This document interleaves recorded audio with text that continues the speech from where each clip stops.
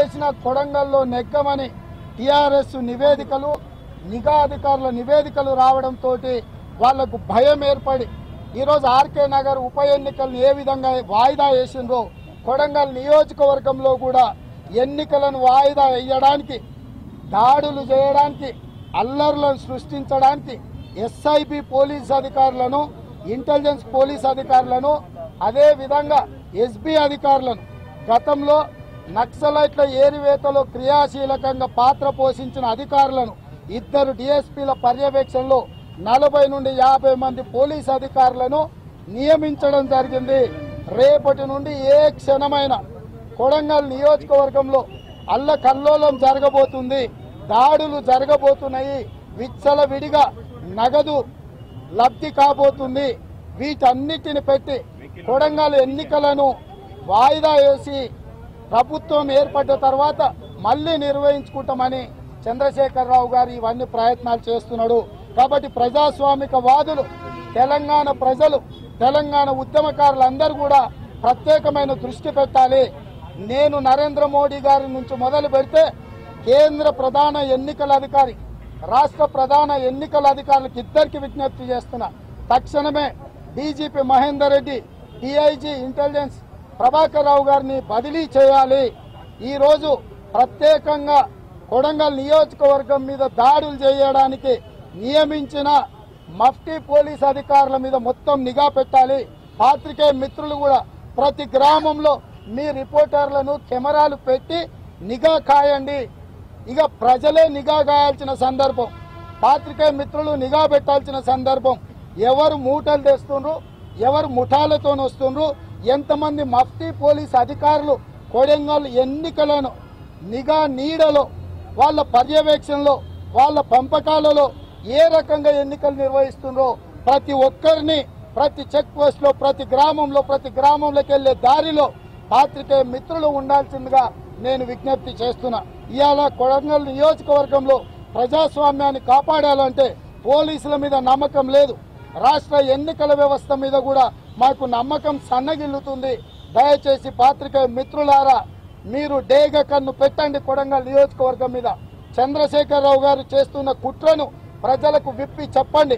RK నగర్లో ఏ విధంగా అయితే నగదు బదిలీ బహుమతులు ఇస్తుండ్రని చెప్పి ఎన్నికల వాయిదా జరిగిందో కొడంగల్ నియోజకవర్గ ఎన్నికల్ని కూడా వాయిదా వేయడానికి పూర్తి స్థాయిలో కేసీఆర్ గారు పక్కా ప్రణాళికతో మహేందర్ రెడ్డి డీజీపీ ప్రభాకర్ రావు గారు డిఐజీ పర్యవేక్షణలో పక్కడ్బందీగా దీన్ని అమలు చేయడానికి చూస్తుండ్రు.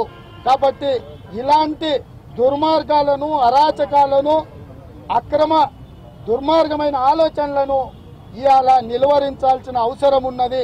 నిన్న జరిగి నిన్న ఇచ్చిన నివేదికను తక్షణమే రజత్ కుమార్ గారు బయట పెట్టాలి బహిరంగపరచాలి.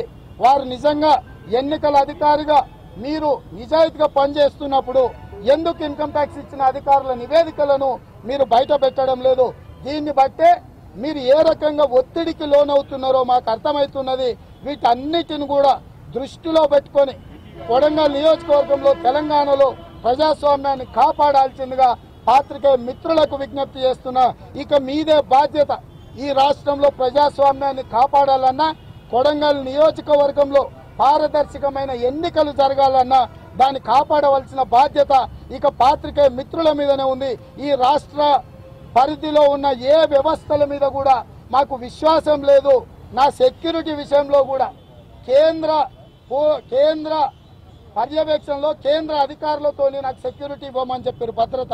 ఆ భద్రతను కూడా కంటెంట్ మూవ్ చేస్తే హోమ్ సెక్రటరీ సెంట్రల్ ఎలక్షన్ కమిషనర్కి ఆదేశాలు ఇచ్చిన అమలు చేయకుండా దాన్ని తొక్కిపెట్టి నా మీద దాడులు జరగడానికి పూర్తిగా సహకరిస్తుండ్రు. కేంద్ర ప్రభుత్వ నిర్లక్ష్యం వల్ల ఏ క్షణమైనా కూడా మఫ్టీలో ఉండే పోలీస్ అధికారుల దాడి జరగవచ్చు ఏ క్షణంలో కూడా. ఏ విధంగా అయితే గద్దర్ మీద ఆనాడు దాడులు జరిగినాయో అలాంటి నిపుణులైన అధికారులు నక్సల్స్ ఏరివేతలో క్రియాశీలక పాత్ర పోషించిన అధికారులను ఇవాళ నా మీద దాడి చేయడానికి అవసరమైతే అంతమొందించడానికి ఇవాళ నిర్దిష్టమైన ప్రణాళికను ప్రభుత్వం రచించింది. ఈ ప్రణాళికను డీజీపీ మహేందర్ రెడ్డి డిఐజీ ప్రభాకర్ రావు గారు అమలు చేస్తున్నారు. నేను గతంలో పార్టీ ఫిరాయింపుల గురించి చెప్పిన నిజమైంది. ఐటీ ఈడీ అధికారుల గురించి నేను చెప్పిన నిజమైంది. ఈ రోజు కూడా నేను ఎందుకు అత్యవసరంగా ఈ రోడ్డు మీద పత్రికా సమావేశాన్ని ఏర్పాటు చేసిన అంటే నేను ఇక్కడ నుంచి నా నియోజకవర్గానికి వెళ్తున్నా. ఏ క్షణమైన దాడి జరగడానికి అవకాశం ఉంది కాబట్టి మీకు అన్నింటిని కూడా మీరు దృష్టిలో పెట్టుకొని ప్రజాస్వామ్యాన్ని కాపాడాల్సిందిగా మీకు అందరికీ విజ్ఞప్తి చేస్తున్నా. దాడి దాడి? ఎన్నికలను ఎదుర్కోలేక నా మీద దాడులు చేయాలనుకుంటున్నారు. రాష్ట్రం నలుమూలలో నేను చేస్తున్న పర్యటన వల్ల కేసీఆర్ గారికి పూర్తి స్థాయిలో టీఆర్ఎస్ ప్రభుత్వాన్ని కోల్పోయే పరిస్థితి ఉన్నది కాబట్టి దాడులు జరుగుతున్నాయి. లేదండి ఇక్కడ. Hello brother. Hello brother. ఇప్పుడు నేను అదే చెప్తున్నా ఆయన అదే చెప్పబోతున్నా నేను అత్యవసరంగా ఏర్పాటు చేసిన సమావేశం. రజత్ కుమార్ గారు ఏది. చెప్పబోతుందో నేను. ముందే చెప్పిన నేను మీ దగ్గరనే ఉన్నా కదా. రజత్ కుమార్ గారు యాభై ఒక్క లక్షలు ప్రకటించబోతుందన్న నిర్దిష్టమైన సమాచారం ఉంది కాబట్టి మీరు లోపలికి వస్తారని అనుకున్నా. పోలీసులు మిమ్మల్ని లోపలికి అనుమతి ఇవ్వలేదు కాబట్టి ఇవాళ రోడ్డు మీద చెప్పాల్సి వచ్చింది. పదిహేడు కోట్ల లెక్కలు తేలాలి యాభై కోట్ల డైరీ లెక్క కూడా తేలాలి. వీటన్నిటి పట్ల కూడా మీరు ప్రత్యేకంగా దృష్టి పెట్టాలి